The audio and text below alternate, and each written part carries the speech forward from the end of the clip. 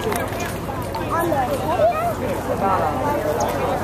we're on the Disney cruise right now.